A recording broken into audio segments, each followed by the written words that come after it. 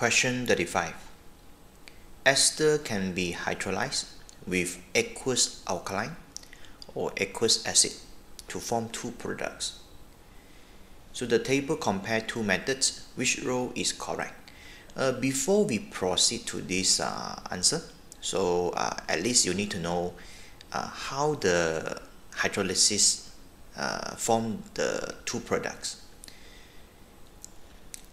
So it start with the the ester. So let's say now we have the this ester with two alkyl group. Let's say it's uh, alkyl group one, alkyl group two. After it's hydrolyzed, so the ester bond will break. So this CO will form COOH, means this part will form COOH and this will form alcohol. This oxygen will get uh, 1H. So this one will get OH. So it will form uh, these two products, the carboxylic acid and the alcohol.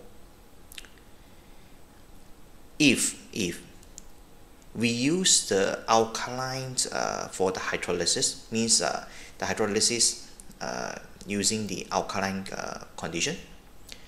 So the carboxylic acid will further react with the hydroxide.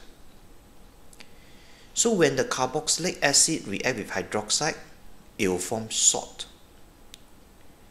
So that's why the hydrolysis under alkaline condition, it will form different products than the, the acidic condition. So generally, the hydrolysis can be represented by these two. Acid hydrolysis, so it will form the carboxylic acid and the alcohol, like I told you just now. And actually, this is an equilibrium, means these uh, products can form back the reactants, and of course, the reactants can form the products. So it's an equilibrium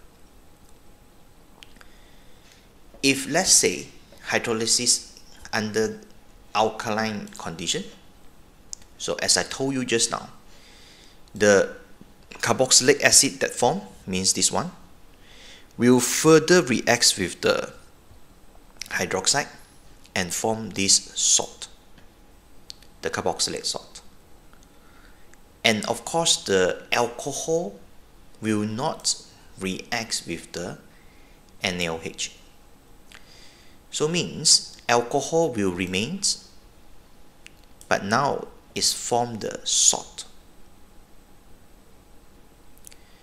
So therefore, these are the products of the acid hydrolysis and alkaline hydrolysis. So if you know this, then you can get the correct answer. So for part A, this one, sorry, this uh, this A, aqueous alkaline, complete conversion to salt and organic acid. So wrong, because aqueous alkaline hydrolysis it will form salt and the alcohol. For B, form an equilibrium mixture with salt and organic acid. So this one confirms wrong. It will not really form equilibrium because for the alkaline hydrolysis is one direction, no equilibrium. Because the salt here will not form back the ester. So now C, complete conversion to a salt and alcohol. Yes or no? Yeah. So if complete conversion means one direction fully convert to the salt and alcohol. So this one is correct.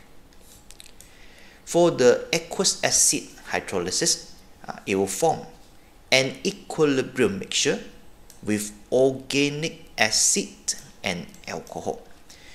For acid hydrolysis, it will form an equilibrium. It will form the acid and alcohol. So therefore, answer is very clear, is C. So D cannot, even though this one is correct, but this one not correct because it's not a complete conversion. It will form equilibrium. Right. So answer confirm is C. Okay, that's all. Thank you.